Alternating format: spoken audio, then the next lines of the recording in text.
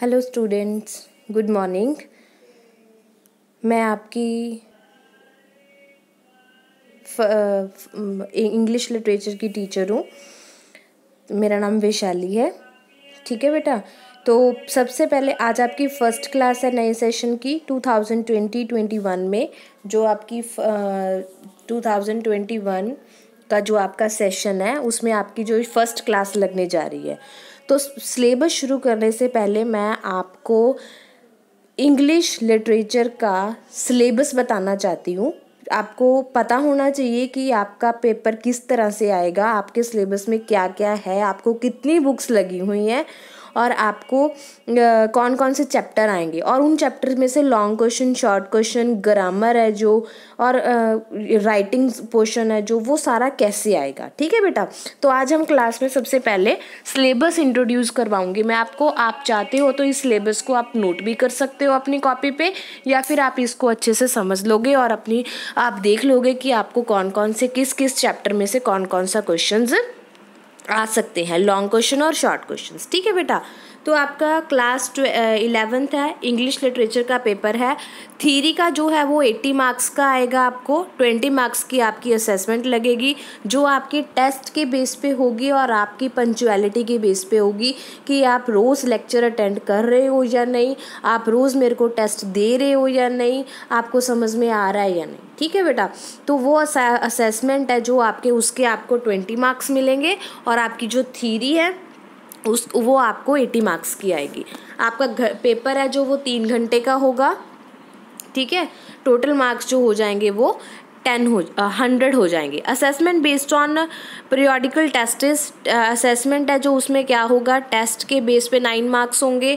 आपको assessment assessment assignment मिलेगी या फिर प्रोजेक्ट मिलेगा जो कि नाइन मार्क्स का होगा।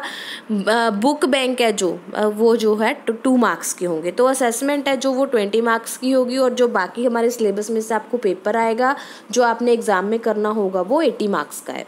तो सबसे पहले हम देखते हैं पार्ट ए पार्ट ए में क्या है? पार्ट ए में क्या है कि objective type questions number one will be compulsory compulsory मतलब ज़रूरी है। ये आप छोड़ ही नहीं सकते। ये टेन मार्क्स के आएँगे आपको। ठीक है? ऑब्जेक्टिव टाइप्स मतलब आपको ऑब्जेक्टिव दिए होंगे। जैसे क्वेश्चन दे दिया, उसमें आपको ऑप्शंस दे दी और आपने उसको चूज़ करना है कि आपने कौन सी ऑप्शन आपके क्वेश्चन के लिए सही है। ठीक है? तो it is it it will consist of ten objective type question carried on one each marks आपको दस क्वेश्चन आएँगे। एम जानते हो? एम सी क्यूज होते हैं ना, आपको क्वेश्चन दिया होता है और साथ में चार ऑप्शंस दे दी जाती हैं। उन चार ऑप्शंस में से आपको देखना है कि कौन सी ऑप्शन सही है, उस पर आपने टिक करना है। तो वो कितने आएँगे? टेन आएँगे। हर एक क्वेश्चन एक मार्क्स का होगा। ठीक है? ऑब्जेक्टिव टाइप क्वेश्चन में include question with one word or to one sentence answer and filling the blanks true false multiple choice question और ये जो दस क्वेश्चन है ऑब्जेक्टिव टाइप ये कौन कौन से आ सकते हैं? या तो आपको दिया होगा उन्होंने question with one word to one sentence एक वर्ड का क्वेश्चन दिया होगा, एक सेंटेंस दिया होगा एक सेंटेंस का आपने आंसर लिखना है उसका, ठीक है? या फिर आपको फिलिंग दी ब्लैंक्स दी होंगे, या फिर ट्रू फॉल्स भी आ सकते हैं, या फिर मल्टीपल चॉइस क्वेश्चन भी आ सकते हैं। किस किसमें से आएँगे? जो आपकी फ़र्स्ट बुक है इंग्लिश रीडर बुक फाइव, उसमें पाँच मार्क्स का आएगा। Select selection from English verses उसमें टू मार्क्स का आएगा। Book of essays and stories है जो उसमें से तीन मार्क्स के आएँगे। ये तीनों बुक्स आपको लगी हुई हैं, जो कि मैं आगे जाके आपको इंट्रोड्यूस करूँगी आज, कि आपको कौन कौन सी बुक लगी हुई है और उसमें कौन कौन सी चैप्टर्स हैं। ठीक है बेटा? तो ये तीन बुक्स हैं जिसमें से आपको ये टेन ऑब्जेक्टिव टाइप क्वेश्चन आएँगे। इसमें true false filling the blanks multiple choice question कुछ भी हो सकता है जो कि एक मार्क्स का होगा और दस के दस लाजमी होंगे इसमें आपको चॉइस नहीं होगी। ओके okay, बेटा? समझ में आ गया ये सेक्शन नेक्स्ट है हमारा बी सेक्शन बी सेक्शन है इंग्लिश रीडर बुक फाइव जो आपकी फ़र्स्ट बुक है इंग्लिश रीडर की वो है उसमें टेक्स्ट फॉर डिटेल स्टडीज़ आपको टेक्स्ट है जो वो डिटेल में पढ़ने होंगे। ठीक है? डिटेल में आपको स्टोरी पढ़नी होगी। उसमें क्या होगा, आपको फ़र्स्ट है जो वो कंप्रीहेंशन आएगा ऑफ़ अ पैसेज मतलब एक पैराग्राफ दिया होगा। उस पैराग्राफ में से आपको क्वेश्चंस मैचिंग्स वगैरह होंगी। जैसे कि आगे एक्सप्लेन किया गया है कि comprehension is to be tested with the help of following techniques comprehension मतलब एक पैराग्राफ है। उसमें क्या क्या होगा? हु स्पोक कौन बोल रहा है? Wrote these words to home ये वर्ड किसने किसको लिखे हैं? अबाउट हुम किसके बारे में लिखे हैं? नेम ऑफ़ द चैप्टर किस चैप्टर में से ये पैराग्राफ आया है? और द ऑथर और उस चैप्टर के ऑथर का नाम बताना है। मतलब कि आपको जो इंग्लिश रीडर बुक है, उसके जो चैप्टर्स हैं, उनके नाम और उनके राइटर्स के नाम अच्छे से याद करने हैं, ताकि आपका जो ये एक क्वेश्चन बनेगा ना, उसके आपको मार्क्स कट ना हो जाए। ठीक है बेटा? और उसी पैराग्राफ में से आएगा short answer type questions questions दिए होंगे, आपने पैराग्राफ में से आंसर्स ढूँढने हैं। मैचिंग एक्सरसाइज दी जाएगी फिलिंग दी ब्लैंक्स दी जाएगी और meanings of difficult word in simple English आपको मीनिंग बताने हैं सिंपल इंग्लिश में डिफ़िकल्ट वर्ड्स के साथ। ये जो है, ये जो पैराग्राफ है ना कंप्रीहेंशन ये किसमें से आएगा? इंग्लिश रीडर बुक में से आएगा। जो आपको इसमें चैप्टर दिए हैं, उन्हीं चैप्टर में से आएगा, बाहर से कहीं नहीं आएगा। ठीक है? इसलिए आपको चैप्टर अच्छे से पढ़ने हैं ताकि आपका कंप्रीहेंशन सही हो जाए। ये जो कंप्रीहेंशन है वो टेन मार्क्स का है। ओके बेटा? नेक्स्ट हमारा क्वेश्चन है an essay type question about 125 words on character sketch theme etcetera with internal choice मतलब इस इस बुक में से आपको एक ऐसे टाइप क्वेश्चन लिखना होगा, जो कि फोर मार्क्स का होगा। ये आपको करेक्टर स्केच भी दिया जा सकता है और थीम भी दिया जा सकता है। इसमें चॉइस होगी, आपको दो क्वेश्चन मिलेंगे, आपने उनमें से एक क्वेश्चन करना है। ठीक है जी? तो ये आपकी फ़र्स्ट बुक है English reader book number five इसमें से आपको एक कंप्रीहेंशन आएगा, एक आपको लॉन्ग क्वेश्चन आएगा। ठीक है बेटा? बी सेक्शन क्लियर हो गया।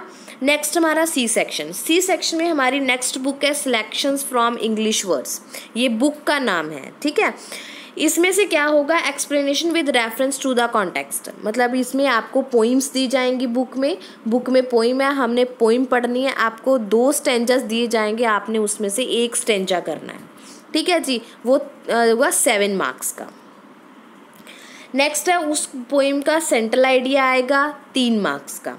टोटल आपके सेवन मार्क्स की बुक बुक में से सेवन मार्क्स का जो क्वेश्चन आपको पेपर आएगा, ये बुक है, इसमें पोइम्स है रज़ी ठीक है बेटा? इसमें पोइम्स हैं। पोइम्स करनी है आपको। पोइम्स में एक्सप्लेनेशन विद रेफरेंस जैसे हम पंजाबी में नहीं करते, हिंदी में करते होते थे स्कूल में प्रसंग सहित व्याख्या करो। वो इंग्लिश में है। रेफरेंस है टू कॉन्टेक्स्ट ठीक है? आपको एक पैराग्राफ दिया जाएगा इंग्लिश में से। वो इंग्लिश का पैराग्राफ आपने करना है और उस, उसमें उसको आपने एक्सप्लेन करना और ये बताना है कि ये कौन सी पोइम से लिया गया है और इसके राइटर का नाम क्या है और इस पोइम में क्या कहा गया है। ठीक है? और इसके, ये तीन चार मार्क्स का है। आपको दो स्टेंजस दिए जाएँगे, आपने सिर्फ़ एक करना है। सिर्फ़ एक करना है, चार नंबर का। सेंट्रल आइडिया आएगा पोइम का, वो तीन मार्क्स का आएगा। ठीक है बेटा? सी सेक्शन क्लियर हो गया आपको। नेक्स्ट है हमारा डी सेक्शन डी सेक्शन में क्या है? बुक है आपको a book of essays and stories इसमें ऐसे और स्टोरीज दिए गई हैं। इस बुक में क्या आएगा? Short answer type question from different lessons आपको ले, जो लेसन्स दिए हैं उनमें से आपको शॉर्ट क्वेश्चन आएँगे। छः क्वेश्चंस दिए होंगे आपने सिर्फ़ उसमें से चार क्वेश्चंस करने हैं जो कि बारह नंबर के होंगे। मतलब हर एक क्वेश्चन है जो वो तीन मार्क्स का होगा। बारह नंबर के शॉर्ट क्वेश्चन आएँगे आपको a book of essay and story में से। उसके बाद एक बड़ा क्वेश्चन आएगा, जो कि चॉइस होगी, उसमें आपको करेक्टर स्केच और थीम दिया जा सकता है, वो छः नंबर का आएगा। ठीक है बेटा? थर्ड बुक है जो आपकी है book of essays and stories इसमें से शॉर्ट क्वेश्चन और लॉन्ग क्वेश्चन आएँगे, इसमें से टोटल एटीन मार्क्स का पेपर है जो वो आएगा। ठीक है जी? क्लियर हो गया? नेक्स्ट है बेटा ई सेक्शन ई सेक्शन है कंपोजिशन एंड ग्रामर आएगी आपको. ग्रामर में हमें क्या होगा? आपको कंपोजिशन में पहले लेटर और ऐसे होंगे. सॉरी लेटर और एप्लीकेशन लेटर और एप्लीकेशन में क्या डिफरेंस होता है? एप्लीकेशन होती है जो हम स्कूल में लिखते हैं. ठीक है? किसी से परमिशन लेने के लिए लिखते हैं. लेटर क्या होता है? वो फॉर्मल और इनफॉर्मल दोनों तरह का होता है. प्रिंसिपल को हमने एप्लीकेशन लिखनी है. ठीक है प्रिंसिपल से हमने छुट्टी लेनी है प्रिंसिपल से हमने आ, अपनी फ़ीस माफ़ करवानी है किसी भी चीज़ के लिए हम एप्लीकेशन लिखते हैं ठीक है? लेटर होते हैं वो इनफॉर्मल होते हैं और फॉर्मल होते हैं ठीक है? तो इनफॉर्मल जो हम अपने पेरेंट्स को लिखते हैं जो हम अपने भाई बहन को लिखते हैं हमारे रिलेटिव्स को लिखते हैं वो तो इनफॉर्मल हो जाता है। जो हम अपनी अथॉरिटी को लिखते हैं। अथॉरिटी मतलब हम अपने टीचर को लिख रहे हैं, हम अपने प्रिंसिपल को लिख रहे हैं। अगर हम जॉब कर रहे हैं तो वहाँ हम अपने बॉस को लिख रहे हैं। ठीक है, अपने से ऊपरले लेवल के बंदे से जब हमने बात करनी होती है तो उसको फॉर्मल लेटर में करनी है। ठीक है, ये मैं आपको इंपॉर्टेंट इंपॉर्टेंट करवा दूँगी। आपने सिर्फ़ वही वही करने हैं जो आपको लगता है कि एग्ज़ाम में आ सकते हैं। तो हम सारे नहीं करेंगे, हम सिर्फ़ इंपॉर्टेंट इंपॉर्टेंट ही करेंगे। आपको ज़्यादा नहीं करना, ठीक है? उसके बाद ये आएगी आपको एप्लीकेशन और लेटर फाइव मार्क्स की। उसके बाद आता है हमारा ऐसे आपको तीन ऐसे दिए होंगे, उसमें से सिर्फ़ आपने एक ऐसे करना है, ठीक है? वो होगा फाइव मार्क्स का। उसके बाद हमारी एक ग्रामर आ जाएगी। ग्रामर में हमने क्या करना है? वॉइस नरेशंस वॉइस दो आएँगे नरेशंस दो आएँगे। उसके बाद word use of a word आपको एक वर्ड दिया जाएगा, आपने उसको नाउन वर्ब और एडजेक्टिव या फिर एडवर्ब में उसको सेंटेंस बनाना। ओनली वन वर्ड एक वर्ड का। वो क्या आएगा? एक नंबर का आएगा। उसके बाद combining two sentences with appropriate linkers आपको कंबाइन करने हैं दो सेंटेंस विद अप्रोप्रिएट लिंक के साथ. एक मार्क्स का आएगा. Filling in the blanks with suitable preposition और डिटर्मिनल्स प्रपोजिशन और डिटर्मिनल्स आएँगे आपको. आपने प्रपोजिशंस के कौन कौन सी होती हैं? ऑफ़ ऑफ़ आर्टिकल्स भी इसमें आ जाएँगे ए एंड द सारे आर्टिकल्स होंगे, ठीक है? बिफोर आफ्टर ये सारे क्या होते हैं? प्रपोजिशंस होते हैं डिटर्मिनल्स हमारे होते हैं मच मोर सच ठीक है? सच ये सारे डिटर्मिनल्स होते हैं और प्रपोजिशंस होते हैं। उसके बाद वेरियस कंसेप्ट आएँगे। वो दो नंबर के आएँगे। ये हम ग्रामर की बुक में से करेंगे कि आपको ग्रामर है वो कौन कौन सी आएगी। तो ग्रामर आपको ट्वेंटी सिक्स मार्क्स की आनी है ग्रामर। आपको लेटर है एप्लीकेशन पाँच नंबर की आएँगी ऐसे है वो पाँच नंबर का आएगा, वॉइस दो नंबर की, नरेशंस दो नंबर के। आपने एक, आपको एक वर्ड दिया जाएगा, आपने उसको नाउन, वर्ब, एडजेक्टिव और एडवर्ब में यूज़ करना है। ठीक है, वो एक नंबर का आएगा। कंबाइन आपको दो सेंटेंस को कंबाइन करना है विद अप्रोप्रिएट लिंकर्स के साथ, वो एक नंबर का आएगा। प्रपोजिशंस और डिटर्मिनल्स एक नंबर के आएँगे वेरियस कंसेप्ट हैं जो वो टू मार्क्स के आएँगे। ठीक है बेटा तो हम इसमें इंपॉर्टेंट इंपॉर्टेंट चीज़ें करेंगे, हम सारा नहीं करेंगे। जो जो लगता है कि ये इंपॉर्टेंट नहीं है एग्ज़ाम में नहीं आएगा, वो हम नहीं करेंगे। ठीक है तो आपको ध्यान रखना है, हम ग्रामर अच्छे से करेंगे लेटर्स और ऐसे है जो, वो इंपॉर्टेंट इंपॉर्टेंट करेंगे। ठीक है जी ई ई पार्ट समझ में आ गया बेटा।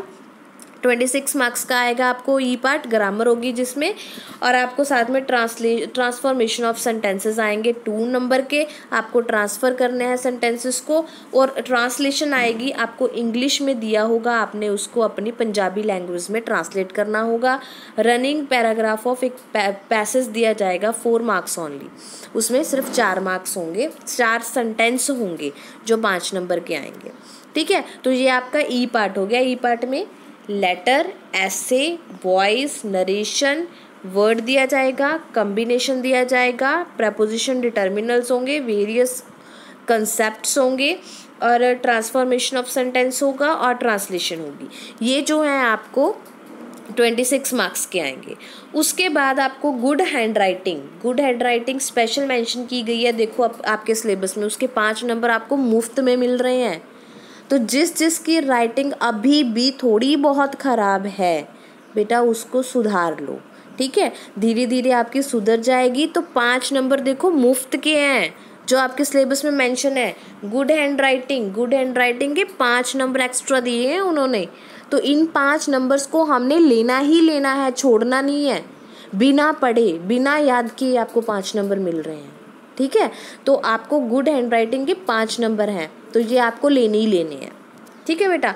ये तो था हमारा सिलेबस ठीक है? आपको ए सेक्शन करवाया मैंने बी सेक्शन करवाया सी करवा दिया डी करवा दिया ई e करवा दिया। आपको ये पाँचों सेक्शन पता लग गए।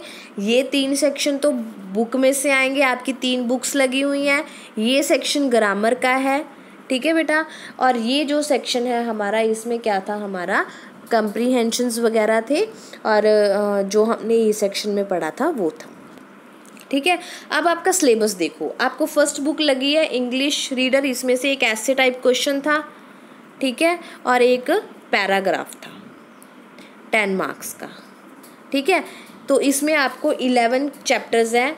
The young Akbar, the story of sir Rama's exile, discovery of penicillin, story of Michael, Guru Gobind Singh, Sohrab and Rustum first, Sohrab and Rustum second, modern miracle, Abu Hasan and his wife, a spark neglected burns, the house part one and house part two. तो ये eleven chapters हैं, इनमें से आपको eternal choice में से एक ऐसे टाइप क्वेश्चन आएगा।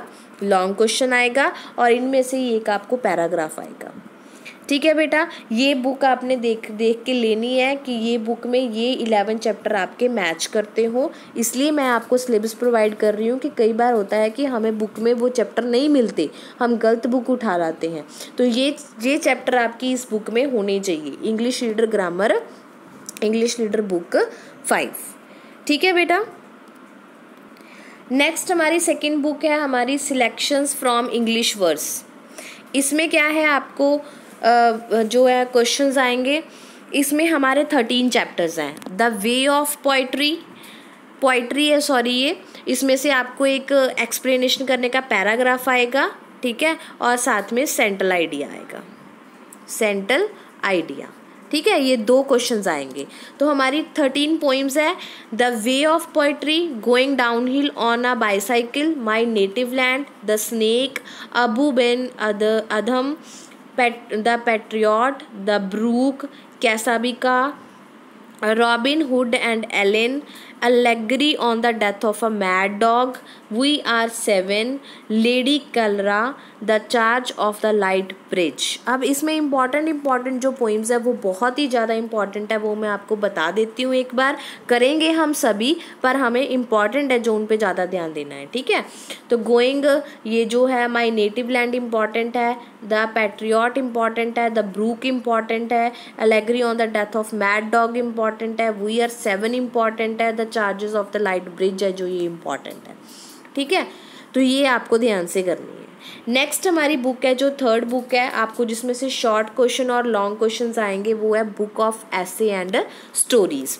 इसमें आपको फोर्टीन चैप्टर्स दिए हैं, इसमें ये हमें ध्यान से करना होगा, क्योंकि इसमें से हमें शॉर्ट क्वेश्चन आने हैं। और साथ में लॉन्ग क्वेश्चन भी एक आएगा ठीक है तो इसलिए हमें ये ध्यान से पढ़ने होंगे तो first chapter the real princess Gulliver in Lilliput Tom whitewashes a fence, a street scene, build yourself for leadership, controlling the mind, three questions, Kabuliwala, Imperi- uh, Imperial's uh, new clothes, Gandhi's appeal, the judgment seat of Bikram Datta, Black Cat, the Bat. ठीक है? तो ये आपकी तीनों books हैं जो वो हो गई कंप्लीट इस ये तीनों बुक्स के पहले बुक्स में हमारे इलेवन चैप्टर थे थर्ड बुक में थर्टीन पोइम्स है सेकेंड बुक में थर्टीन पोइम्स है थर्ड बुक है जो उसमें फोर्टीन जो हमें चैप्टर्स दिए गए हैं। और फिफ्टीन चैप्टर है जो द लास्ट लीफ है। तो थर्ड बुक में हमारे थर्ड फिफ्टीन चैप्टर्स हैं। नेक्स्ट है हमारा अप्लाइड ग्रामर ग्रामर में हमें sixteen part six twenty six marks की हमें ग्रामर आनी है जो ई e पार्ट में है। The sentence and and it's form the sentence and it's kind clause and the and it's kind noun phrase है। Noun pronoun determiners adjective verb phrase the main verb transitive and intransitive linking verbs है tenses हैं, ठीक है? Prepositions हैं adverbs है conditional sentences है adjective clause है voice हैं नरेशंस हैं वोकेबलरी एक्सप्रेशंस हैं। ये हमें आपको यहाँ पे बहुत ज़्यादा लग रहा होगा कि मैम इतना ज़्यादा सिलेबस है, पर इनमें कुछ नहीं है अंदर। इनमें सिर्फ़ इनके ना, हमें नंबरिंग दे रखी है कि इतने ज़्यादा करने हैं आपको, इतने ज़्यादा नहीं करने हैं। हमें हमें सिर्फ़ क्या करना है? हमें सिर्फ़ वॉइस करने हैं, हमें सिर्फ़ नरेशंस करने हैं, ठीक है? सिर्फ़ हम क्या करेंगे? वॉइस करेंगे नरेशंस करेंगे प्रेपोजिशंस डिटर्मिनल्स टेंसेस ठीक है? डिटर्मिनल्स टेंसेस हो जाएँगे। तो इनमें ही आपका ये सारा जो सिलेबस है वो कवर हो जाएगा। तो आपको ज़्यादा करने की ज़रूरत नहीं है। मैं आपको मेन मेन करवाऊँगी, जिससे आपके बहुत अच्छे मार्क्स आएँगे। पर राइटिंग का ध्यान आपने खुद ने रखना है। ठीक है बेटा? तो आगे कॉम्पोजिशन है। कॉम्पोजिशन में हमें ट्रांसलेशन थी, ठीक है? लेटर्स हैं एप्लीकेशन हैं और एसेज हैं। ये भी हम इंपॉर्टेंट इंपॉर्टेंट करेंगे, सारे नहीं करेंगे। ठीक है जी? तो ये आपका पैराग्रा, जो ट्रांसलेशन दी होगी ये तो आपके काम का नहीं है, ठीक है? और बुक्स हैं जो प्रिस्क्राइब्ड और पब्लिश्ड की गई हैं, वो पंजाब स्कूल एजुकेशन बोर्ड की हैं। आपको ये चारों बुक्स लगी हुई हैं, ठीक है? फ़र्स्ट तीन बुक्स हैं, बताई मैंने आपको, ये ग्रामर की बुक लगाई गई है। ठीक है? All the lesson of books are included in the syllabus no part has been deleted कोई भी पार्ट आप डिलीट नहीं कर सकते हो. जो भी पार्ट है वो सारा सिलेबस में इंक्लूड किया गया है आपकी बुक का। ठीक है बेटा? तो ये आपका सिलेबस है। इसको आपने ध्यान में रख के हमको एग्ज़ाम की तैयारी करनी है। ठीक है जी? तो मैं आपको नेक्स्ट वीडियो से आपको सिलेबस शुरू करवाऊँगी। ठीक है? आप इस सिलेबस को ध्यान से पढ़ लो, समझ लो, ठीक है? कैसे एग्ज़ाम आएगा आपका? फ़र्स्ट जो पार्ट है उसमें आपको A B C D E पाँच पार्ट दे रखे हैं, जिसमें आपको पैटर्न बताया गया है कि आपको पेपर कैसे आएगा। और उसके बाद आपको बताया गया है कि तीन, फोर जो आपको बुक्स लगी हुई हैं, पहली तीन बुक्स आपकी चैप्टर्स की हैं, फोर्थ है जो ग्रामर की है, ठीक है? तो आप एक गाइड ले लो बेटा। तो हम उसमें से आप, आपको, मैं सिलेबस शुरू करवा देती हूँ। ठीक है, आज हमारी वीडियो में मैंने आपको सिलेबस इंट्रोड्यूस करवाया। सिलेबस शुरू करने से पहले आपको अपनी जो है सिलेबस है उसका पता होना चाहिए कि आपको पेपर कैसे आएगा। ठीक है जी? उम्मीद है आपको समझ में आ गया होगा बेटा। अगर फिर भी आपको कोई प्रॉब्लम लगती है तो आप मेरे को पर्सनली मैसेज करके पूछ सकते हो कि आपको यहाँ पर दिक्कत आ रही है। तो मैं आपको क्लियर कर दूँगी। ठीक है जी? तो नेक्स्ट वीडियो में हम अपना चैप्टर शुरू करेंगे। सबके पास बुक्स होनी चाहिए, कोई भी ऐसा बेटा ना हो बच्चा जिसके पास बुक नहीं होगी। तो जिसके पास बुक नहीं होगी, उसको समझ में नहीं आएगा। तो मैंने हर चैप्टर को पढ़ाने के बाद, समझाने के बाद उसका टेस्ट लेना है साथ में। ठीक है जी? जो बच्चा टेस्ट देता रहेगा, जो बच्चा वीडियो देखता रहेगा, समझता रहेगा, उस, उसके ट्वेंटी मार्क्स मेरे हाथ में हैं। तो आपको देखना है कि आपको ट्वेंटी में से ट्वेंटी लगवाने हैं या ट्वेंटी में से सिर्फ़ पाँच लगवाने हैं। और प्लस राइटिंग राइटिंग के पाँच मार्क्स हैं। देख लो आपको कितने लेने हैं। पाँच के पाँच मुफ़्त में लेने हैं या नहीं लेने वो आप पे डिपेंड करता है। ठीक है जी? अगर मेरे अकॉर्डिंग चलोगे बेटा तो आपका एग्ज़ाम के टाइम में इतना अच्छा सिलेबस हो जाएगा कि आपको एग्ज़ाम के टाइम में रीडिंग करने की ज़रूरत पड़ेगी, याद करने की ज़रूरत नहीं पड़ेगी। ठीक है जी? तो नेक्स्ट वीडियो में हम चैप्टर शुरू करेंगे, ठीक है? आपके पास, सभी के पास बुक्स होनी चाहिए। जहाँ पे कोई प्रॉब्लम लगती होगी, आप मेरे से मैसेज करके बोल सकते हो कि मैम हमें यहाँ से समझ में नहीं आया। मैं आपको फिर से बता दूँगी ठीक है बेटा? ओके बेटा बुक्स ले लो आज के आज। कल फिर मैं आपको चैप्टर शुरू करवाऊँगी, पर किसी ने मेरे को ये नहीं कहना कि हमारे पास मैडम बुक नहीं है। बुक ले लो अपनी। ओके बेटा हैव अ नाइस डे